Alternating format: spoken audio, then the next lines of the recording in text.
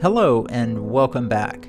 I'm Tex, and this is episode 5 of Lunar Industries, an Orbiter 2016 video series. In the previous episode, we did a short flight from Brighton Beach to another base on the surface of the moon called Aurora. Once there, we did a crew rotation. Now we need to depart Aurora and head up to ESS, a space station in lunar orbit. So let's go ahead and get started. Alright, here we are where we left off, of course, and uh, first thing we're going to do is we're going to have to put some fuel back into the uh, vessel here. As usual, we'll transfer some of the main fuel over into our RCS tanks. So I'm not really sure how much fuel we're going to need for this because I'm going to do a slightly different flight on this one. So what we're going to do is actually, um, so let's just top off RCS tanks full. We're going to put a decent amount here in the main tank. Uh, but yeah, what we're going to do is uh, a direct ascent to the ESS space station. So we'll just taking a look. So there's 8,000 kilometers, kilograms rather, sorry, of fuel. Go a little bit more. Speed time up. And uh, I was just monitoring Refueling burn time MFD. So there's 9,500 kilograms in the main tank. Burn time shows 5,244 meters per second in Delta V. I'm quite sure that's more than enough to do what I want to do, but um, you know, just since I'm not exactly sure how much fuel uh, we'll need, I'll go ahead and put that much in. Once again, I am using the expert fuel ISP setting, so it's going to take us uh, our our fuel rate uh, burn rate is going to be much higher than the default setting. All right, so uh, like I said, we're going to do a direct ascent Rotation. up to the uh, ESS space station. So I think this is probably going to be a lot easier to do from the moon reset. than it is uh, on the Earth. For one thing, because we need a lot less velocity to uh, to reach orbit. So go ahead and uh, target ESS on the map MFD and take a look at where it is. Um, we went ahead and uh, off camera timed it so that uh, its orbital plane is uh, right over the base and uh, it is uh, approaching the base now. So all we need to pretty much do is just time the launch so that we take off when uh, ESS is near our position here at uh, at Aurora base. So let's just pull up launch MFD here equatorial inclination is and uh, really that wasn't much use to us. We know that uh, because we're going to do a direct ascent to the space station, we're pretty much going to wait until it's almost directly overhead, which means we're going to be launching in basically an easterly launch heading. So yeah, I think it's getting fairly close to where um, we'd like to have it. So let's go ahead and get our uh, COM nav frequency set up since we're going to be basically getting there pretty quickly. Um, that way we don't have to mess with it later. So we're going to go ahead and set the transponder frequency to 132.20. There it is. It's already picking it up. And we'll, uh, we're going to dock in uh, docking port number 5. So we'll set nav2 to 113.65. Okay, there we go. Not close enough to pick that one up yet. Okay, so just monitoring map MFD. I think we're going to have to get a, uh, let it get a little closer to us.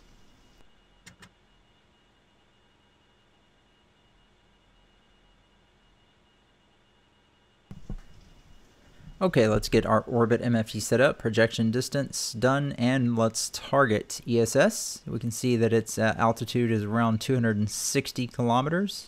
Periapsis is 260, apoapsis is 263. So it's uh it's up there a ways.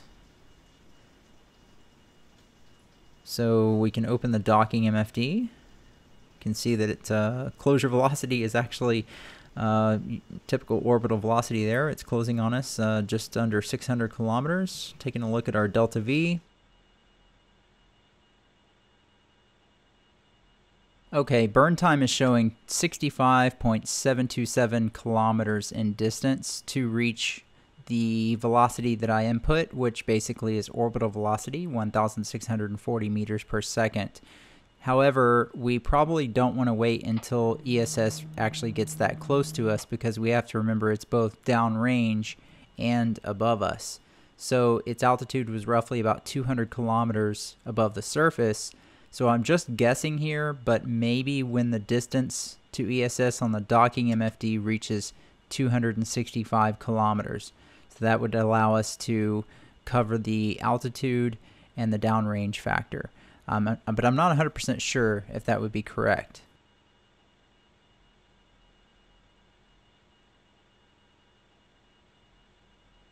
And I think that's probably going to be about as far as we should go. So let's go ahead and open Surface MFD, turn off external cooling.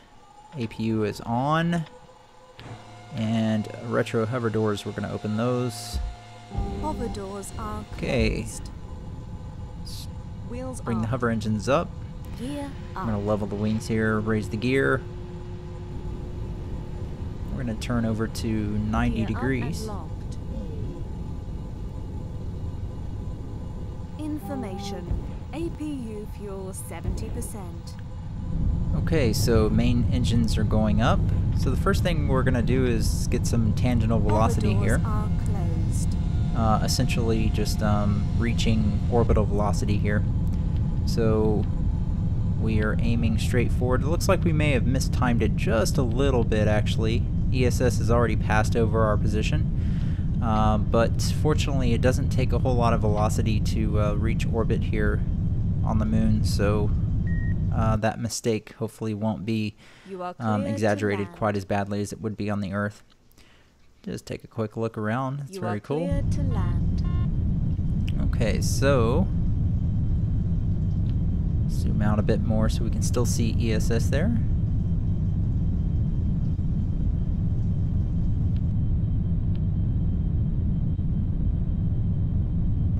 Alright, so orbit MFD on the left side. We're going to probably have this uh, sort of a funky orbit shape. Uh, there is ESS sort of directly above us and a little bit in front of us, so it's a little bit downrange, a little bit um, more above us than anything. So most of the distance uh, is all in altitude, since it's almost directly over us at the moment, uh, which makes sense. Its uh, current distance is 260 kilometers. So we're going to bring the uh, main engines back. We uh, we now have an apoapsis of 85 kilometers, so we have enough velocity that um, Translation. we're pretty much in orbit. Let's just see. A little bit of translation was moving the velocity vector that way, so let's uh, rotate up.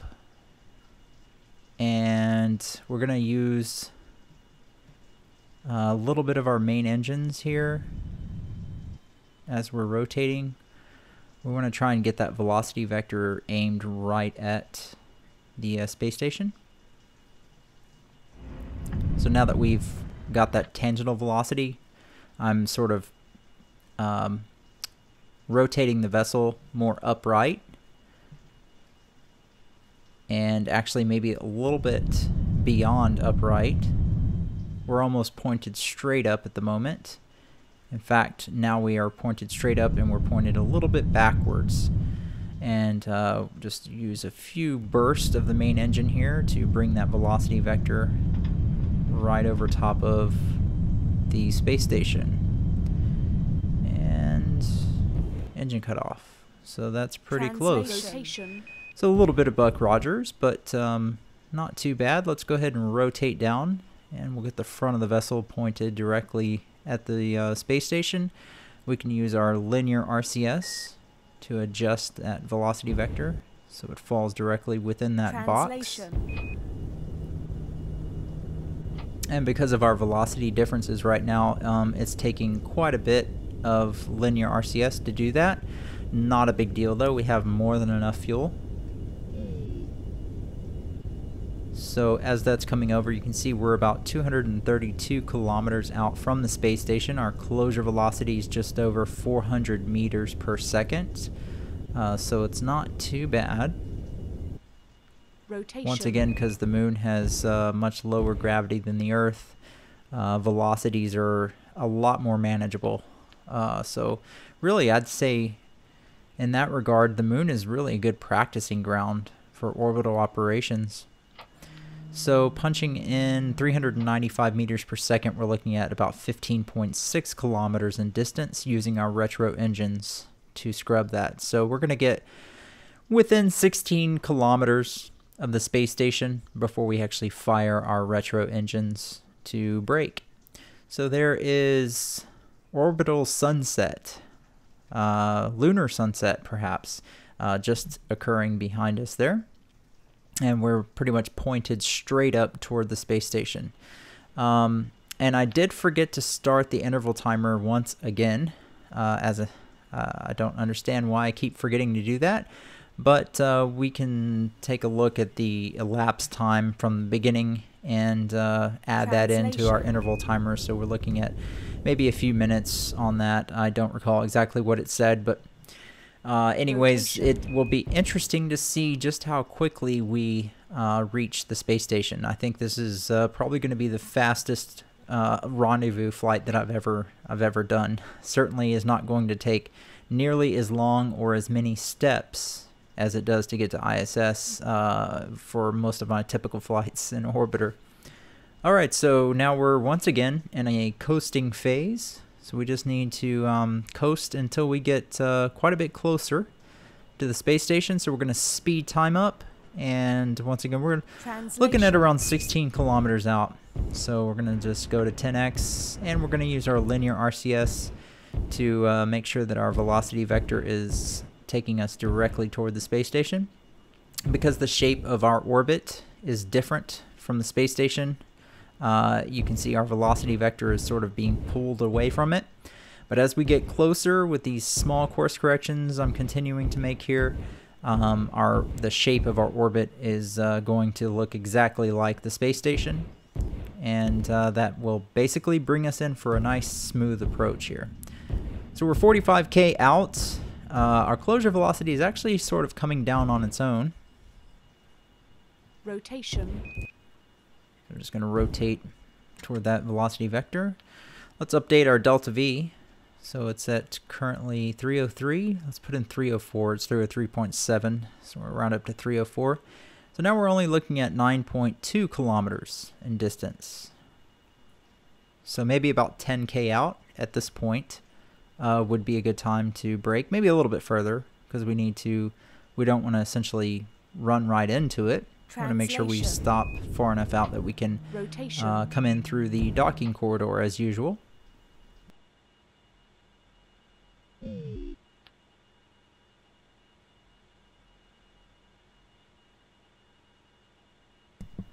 Okay, so we're 13k out. There's 12 kilometers. 11, 10, and we're burning. Okay, so we were actually looking at just under, I think it was 300 meters per second at Delta V. So we uh, were burning in plenty of time. So we're closing down on the space station. We're with under six kilometers. Just gonna yaw a little bit here. Try and keep that velocity vector heading right toward it. It is nighttime right now, so unfortunately we're not going to have a nice view of the space station until we get closer. And our lights will illuminate it as we come in for a docking. You can actually see some strobe lights on the space station just ahead flashing.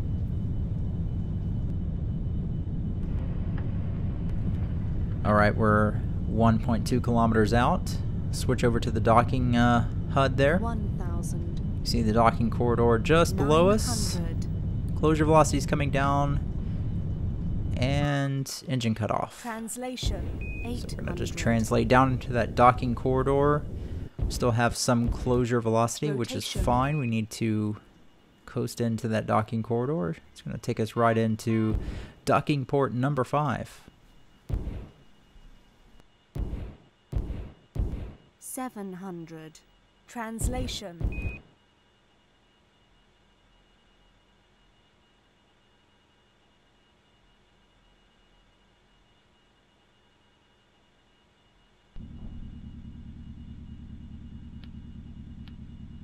600.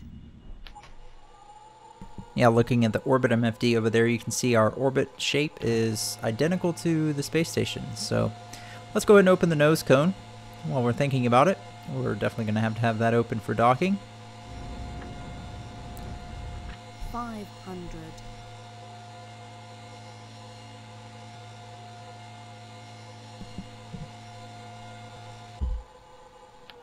nose cone is open, power down the APU. And we'll just close in on this docking corridor, speed time up a little bit. 300, 200,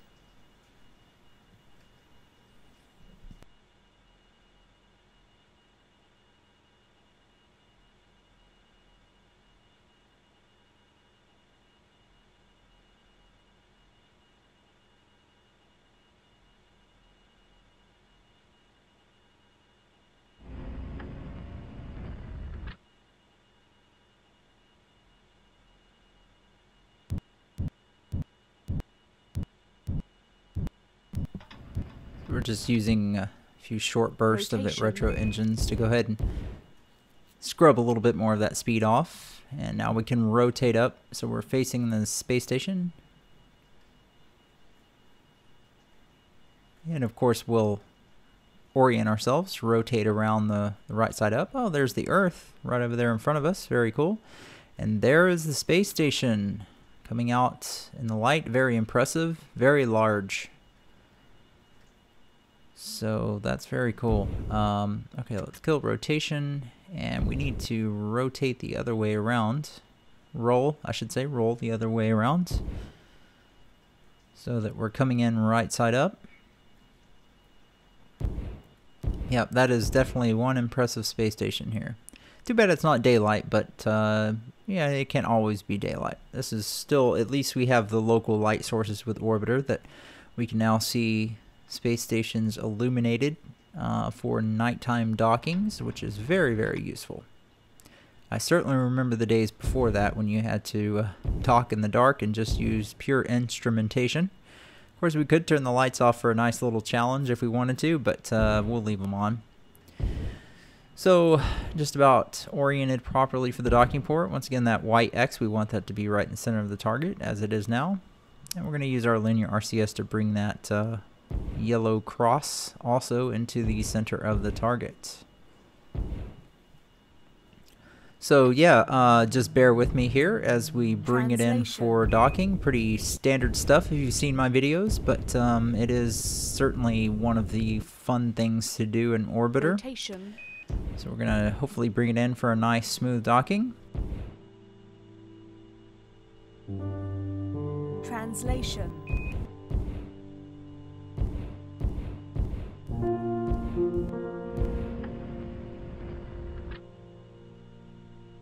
Rotation. Translation.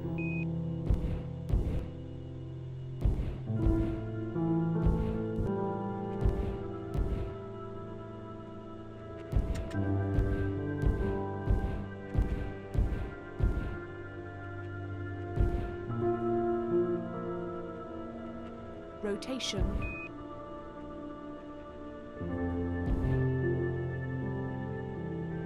Translation.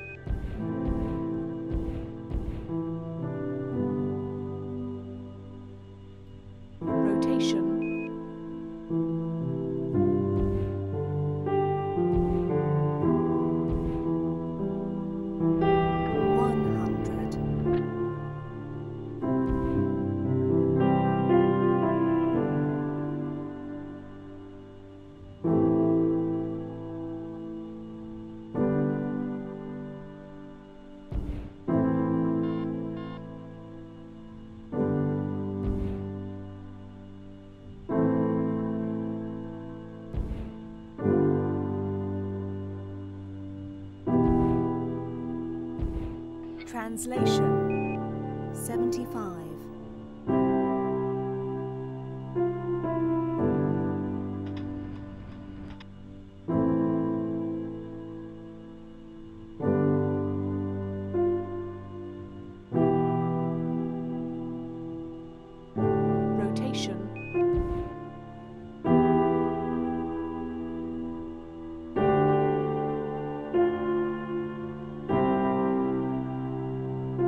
Translation 50.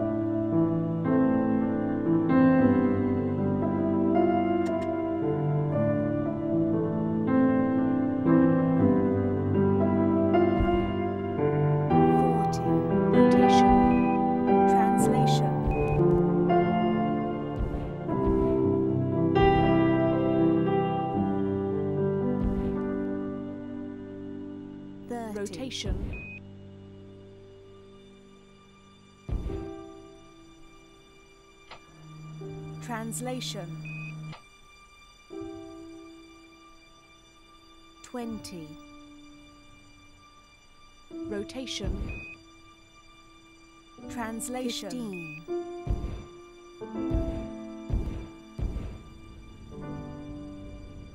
10. Alright, so we're just about safely docked here with a, about 8 meters to the docking ports. 7. Translation 6. Rotation. Just jumping back and forth between Five. rotation and translation, Translation. trying to keep everything perfectly lined up. 4. 3.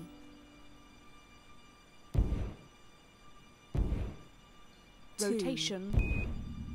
Translation. Rotation. 1. Translation. Quick last minute adjustment there. Contact. Alright, not too bad. Alright, contact. Okay, so let's uh, get everything shut down over here so we can wrap up this episode. We are safely docked. Let's turn the APU on. Uh, we can stow the radiator, close retro doors, turn off RCS mode, power down our MFDs. Uh, let's go ahead and uh, turn off our lights. We'll leave beacon on. Stop the interval timer. Um, so well, we're at 21 minutes, so I forget maybe a few minutes added to that. So call it 25 minutes. Well, turn on external cooling and turn off the APU. So yeah, uh, roughly about 25 minutes is not too bad for a direct flight up to the space station. So going to transfer the, some of this RCS fuel over into the main tank, and uh, we'll leave it like that uh, for this episode. We can turn the HUD off. So that'll wrap up today's episode, guys. I hope you liked it. For the next episode, I'd actually recorded a flight from the space station here back to Brighton Beach, but I figured you've already seen me land on the moon twice. You probably don't want to see it yet again. So, just to keep things interesting, what we're going to do is actually start out on the surface back at Brighton Beach so that we can plan our trip back to the Earth. And we'll probably also go ahead and get into a parking orbit around the moon. Uh, I know it leaves a little bit of a gap in the flight from where we are now uh, and actually being back at Brighton Beach, but once again, I just figured it would uh, be more interesting if we did things that way. So, listen, uh, thank you guys once again for following the series. Uh, I hope you're all doing really well, and until the next episode, take care, and we'll see you then.